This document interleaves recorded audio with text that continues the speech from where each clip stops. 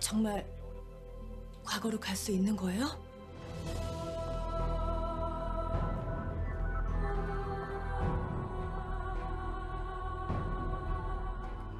매번 영희가 죽는 걸 지켜보는 게 너무 괴로워요.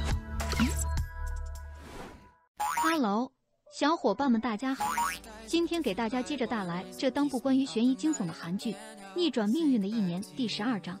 在上一集我们说到， 虎哥来找佳佳试探自己是否暴露，佳佳滴水不漏。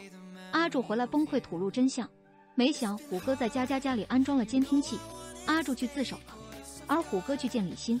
出来后，等不及的虎哥直奔阿柱，想要杀人灭口，却扑了空，于是就去找老咖麻烦了。另一边，佳佳则和老咖一起游说黑婶。接着，阿柱设计成功，捕捉到虎哥。虎哥在临去监狱时，告诉了阿柱一个重要信息，阿柱才发现原来幕后主使人竟然是老咖，连李欣都只是他手下的一个棋子。而在运虎哥的车却出了车祸，虎哥成功脱困。回到本集，故事开始。首先是老咖招揽李欣的过程，他用提前预知列车事故证明自己的穿越能力，再利用李欣痛失爱女的心情，带她回到女儿小英还在世的时间。但每次穿越都是以小英病情恶化最终过世。老咖又提出了一个理论，救小英任重而道远。为了防止李欣女儿没救回来，先把自己逼疯了，需要找点乐子。大家恐怕都没想到，这位才是重量级变态。看着多慈眉善目一老人。此时，老咖拿出杀了杀人魔虎哥，东窗事发被通缉的新闻报道，他要弄死虎哥，救活被害人，再像观察小白鼠一样观察被害人的命运走向，这才有了后来说服阿乐去杀虎哥的剧情。被虎哥杀的人都活了下来。再接着，老咖伪装成普通穿越者，和大家开始了第一集的穿越。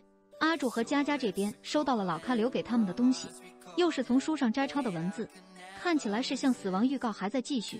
这时，阿柱接到电话，得知押送虎哥的车出了车祸，虎哥抢到现场的摩托车逃走了。另一边，老咖告诉李欣，小英每次都是在这段时间病情恶化去世，下一次穿越，他要带上新的帮手帮忙。话音刚落，虎哥推门而入，原来虎哥袭击老咖那晚，老咖曾亮明身份，并承诺带虎哥穿越重置人生。将信将疑的虎哥，因为老咖竟然知道李欣给过他摩托男的照片。暂时放了老咖一命。后来虎哥被捕，因为摩托男脱困，这才信了老咖的话前来赴约。此刻，佳佳通过老咖留下的卡片暗示，得知他们下一次死亡的时间就在他们当初穿越回来的前两天。死亡距离他们越来越近，两人只能加紧行动。此时，佳佳负责跟踪黑婶。这时，老咖给黑婶来电，竟然要他毒杀小英。黑婶拒绝了这个丧心病狂的任务，老咖却淡定地说道。不，你会做的，因为每次穿越你都这么干了。他的话仿佛带着魔力，黑婶果然对小英下手了。关键时刻，佳佳出现，吓走了黑婶。姗姗来迟的李欣终于意识到，每次穿越小英都在今天死亡，完全是一场人为的阴谋。另一边，佳佳去见了老咖，老咖淡定地说出了他这么干的理由：自从发现人生可以穿越重置，他突然找到了很多新乐趣，尤其是这一次特别有趣。和一群小白鼠一起穿越，近距离观察命运向必死之人索命。香香被这个无耻老儿气走，老咖突然说出了一段石破天惊的预告：阿柱会为了救你而死，而且他死得很惨很惨。佳佳完全惊呆了。画面一转，李欣找到黑婶，质问他怎么能下得去手。黑婶解释，他的女儿三年前过世了。老咖承诺，只要黑婶听话，就带他穿越回去见女儿。李欣戳穿了老咖的谎言。穿越只能回到一年前，黑婶没想到自己被老咖阴了，但他也留了一手，偷偷录了和老咖的电话录音。李欣从录音中听到老咖已经不止一次下令这么干，顿时气到内伤。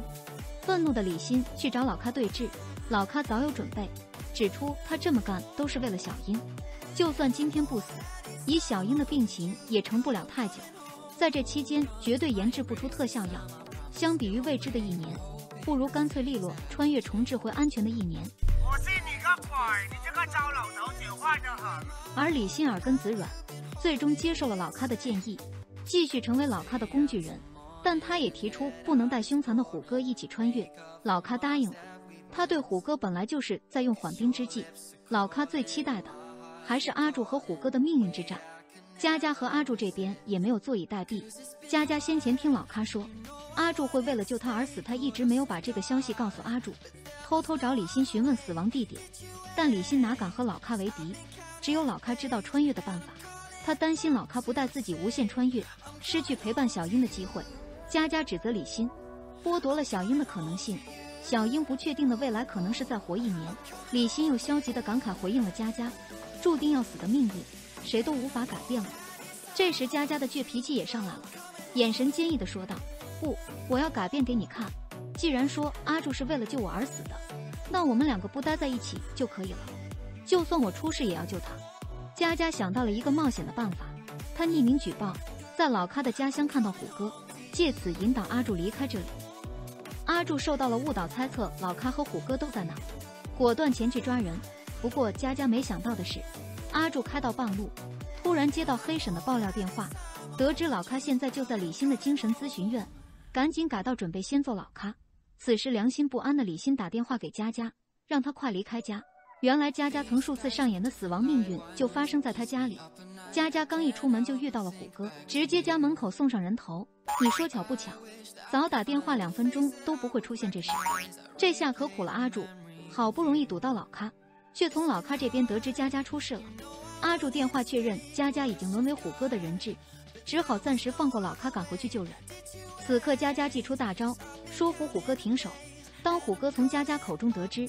阿柱穿越回来就是为了救被阿洛杀掉的自己时，他沉默了很久，说道：“是啊，我很清楚阿柱的心意，所以等我穿越，从此以后我会很小心，不露出破绽，或许这样我就不会再杀人了。”紧随着万众瞩目的宿命之战终于来临，阿柱赶到时，佳佳倒在沙发上，生死未卜。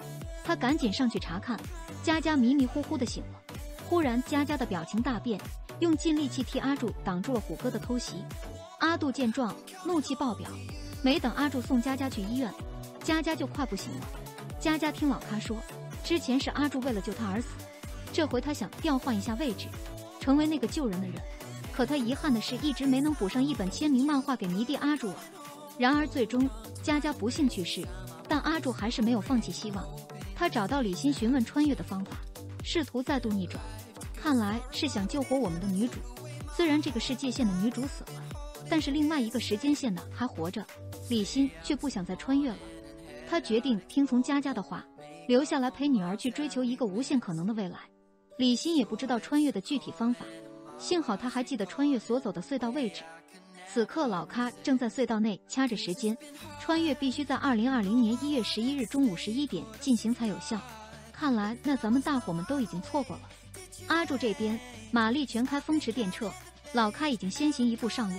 随后，阿柱来到李欣口中充满不确定因素的长路，两条岔路，阿柱孤注一掷，开上了其中一条路。画面一转，穿越回去的老咖在警局门口遇到阿柱，阿柱好像完全不认识他。老咖松了口气，暗自庆幸那个大麻烦没有追来，但他终究还是中计了。阿柱也完成了穿越，警局前的陌生全是演出来的。为的就是麻痹老咖，留给阿柱收集罪证的时间。现在，阿柱将以违规制药和违规进行临床实验的罪名逮捕老咖。老咖经历了最初的慌张后，已经冷静了下来。阿杜终于说出了他的计划。这些罪名或许无法严惩老咖，但至少能让老咖在教导所待一年以上。老咖一旦错过穿越的有效时间，就无法再回到过去。老咖脸色大变。阿柱解决完老咖，下一个就轮到连环杀人魔虎哥。已有心算无心，虎哥也栽了。故事的最后，阿柱鬼使神差来到佳佳家门口，正好赶上这家出门遛狗的佳佳。佳佳可没有穿越，不记得这位患难与共的伙伴。尴尬的阿柱正要快步离开，却没想到突然被佳佳叫住了。最近铺天盖地都是阿柱抓虎哥的新闻，佳佳也认出了这位明星警察，或许是为了能和佳佳多聊两句，阿柱假装刚刚才认出佳佳是知名漫画家。还表示自己是他的狂热粉。就在阿柱不舍得告辞时，佳佳再次叫住他，问道：“警官，我有私事，能向你咨询吗？”阿柱的嘴角控制不住的上翘，他压抑着狂喜，说道：“当然，你给我签名就可以。”全剧中，这部剧再次证明了好故事固然重要，但更重要的是讲故事的方法。一部翻拍自日本小说的韩剧，居然拍出了英美剧的质感。这点本身就比任何剧情都离奇。重置者们全员智商在线，每个人背后都有秘密，偏偏还都是戏精，看似其乐融融，背地里暗潮汹涌。而最后世界线的收束与反转也让人表示惊叹。欢迎在评论区进行留言，点个关注，我们下部剧再见。